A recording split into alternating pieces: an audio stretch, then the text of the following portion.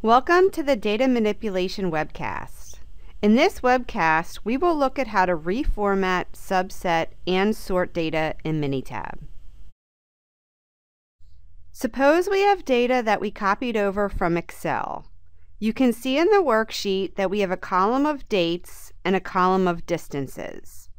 Before we can begin to analyze this data set, the first thing you may notice is that even though column C2 contains numeric values, we see it's labeled C2-T, where the dash T indicates that Minitab thinks this column is text.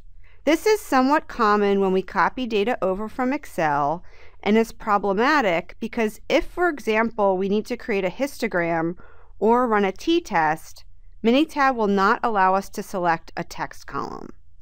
To change the format, choose Data, change data type, and in this case, we want to convert a text column to numeric. In the first field, we will enter our text column and in the next field, we can either enter a blank column, such as column C3, or we can overwrite column C2. Looking at the C2 column header, we can now see that the column is properly formatted as numeric. The next thing we're going to look at is how to pull information such as the year, the month, or the hour from a date time column. For this data set, suppose we want to compare the distances for Monday versus Tuesday versus Wednesday, etc. To convert dates into the corresponding days of the week, choose Data, Date Time.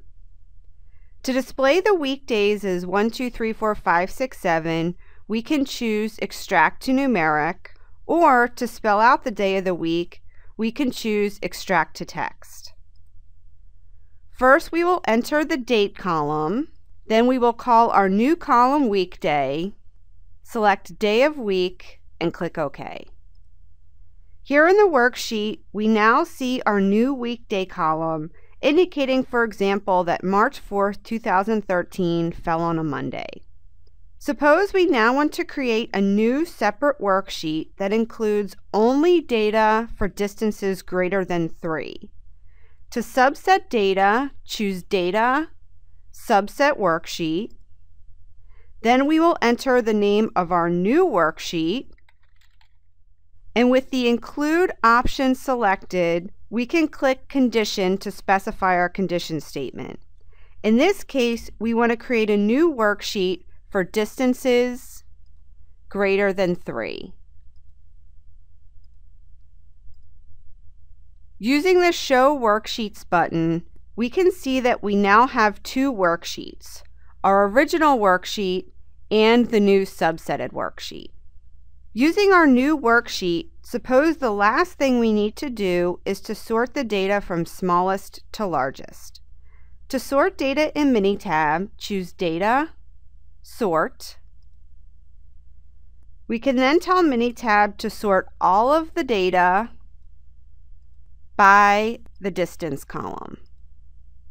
To overwrite the original columns, we can click this button and then click OK. We can now see that the distances have been sorted from smallest to largest. This concludes the webcast. To learn more, we offer instructor-led training and we also offer free technical support.